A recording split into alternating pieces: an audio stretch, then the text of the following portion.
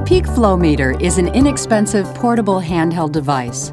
Your doctor or nurse will advise you which make and type to use.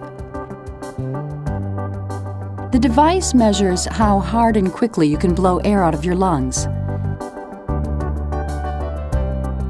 The meter has a marker that slides up the scale as you blow out. The better your lung function, the harder you will be able to blow out, and the higher your peak flow score will be.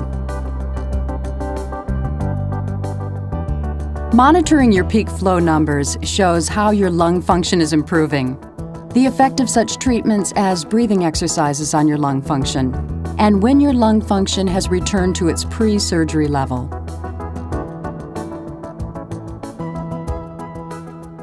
To use your peak flow meter, first make sure the marker on the meter scale is at zero. Preferably stand or sit up straight. Remove any gum or food from your mouth.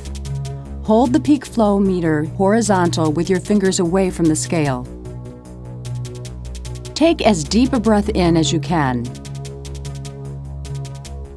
Close your lips firmly around the mouthpiece and blow out as hard and as fast as you can, just like blowing out candles on a birthday cake. Check the reading on the meter scale. In this case, 400 liters per minute and write it down. Move the marker back to zero. Repeat the entire routine two more times for a total of three times.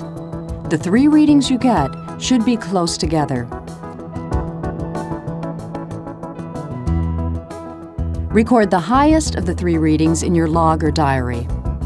Your doctor or nurse will tell you how often and when each day to record your readings.